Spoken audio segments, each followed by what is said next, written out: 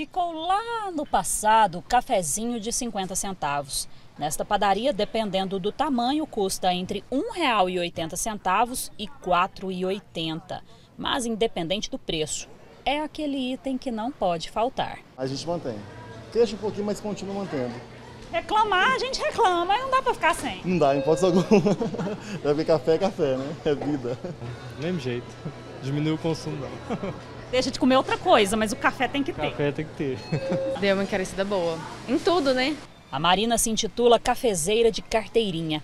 Ela disse que assustou com o preço do café nos últimos meses. Tem lugares que tá tipo o dobro do preço e até mais do valor que era antes. Tá muito caro. Mas a gente gosta, é amante do café, né? Fazer o quê? Estou aqui tomando meu cafezinho, servido pela gerente da padaria.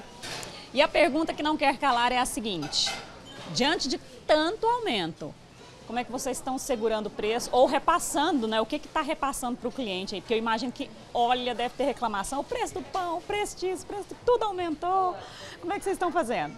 Olha, falar de preço é uma situação muito difícil, muito delicada, né? A gente tem se, desdobrado, né, como café e como os demais itens, para tentar não repassar esse preço para o cliente. Então a gente tem tentado negociar com os nossos fornecedores, a gente está comprando em grandes quantidades para tentar segurar um pouquinho. Como se diz o ditado por aí, tem que rebolar. Tem que rebolar, porque o pessoal sente mesmo. E o cafezinho não pode faltar. Segundo o índice oficial de inflação calculado pelo IBGE, em 12 meses, o café moído subiu em média 35% no Brasil.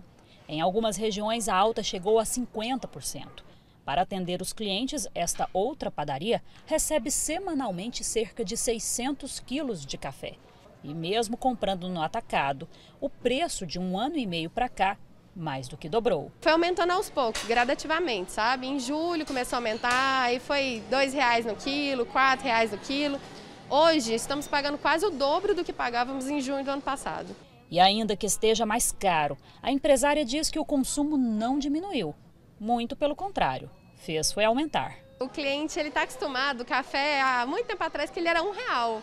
Aí subiu para dois reais, o cliente ainda reclama, dois reais mas está caro demais.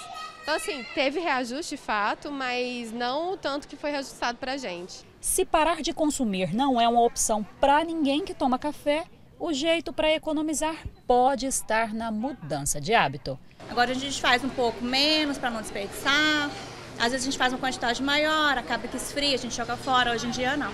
Faz um pouco menos. Se precisar, faz mais um pouquinho ali depois do almoço, né? Cafezinho faz parte do, da rotina do dia. Não tem como ficar sem um cafezinho.